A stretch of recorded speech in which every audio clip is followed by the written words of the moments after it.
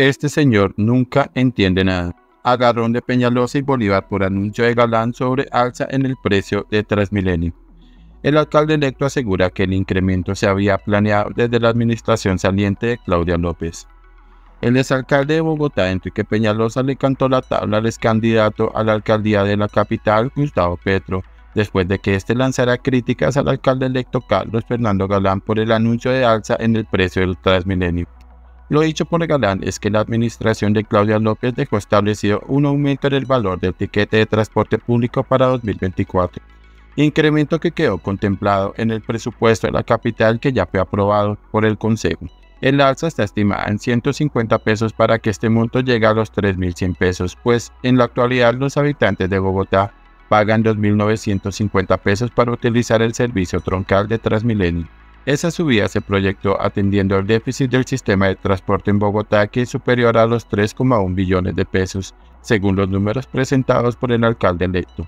Ante esta noticia, Bolívar arremetió contra Galán porque durante la campaña por la alcaldía para las elecciones territoriales de 2023, en las que ambos se enfrentaron y el ex candidato quedó tercero con el pacto histórico, el ahora alcalde electo había señalado que no subiría la tarifa del Transmilenio. En campaña, Carlos Fernando Galán prometió congelar el precio del Transmilenio. Si le sube el pasaje, está pagando un favor a los operadores, tal como lo hizo Claudia López durante cuatro años. La ciudadanía debe hacer valer sus votos y obligar a los elegidos a cumplir su palabra, escribió Gustavo Bolívar.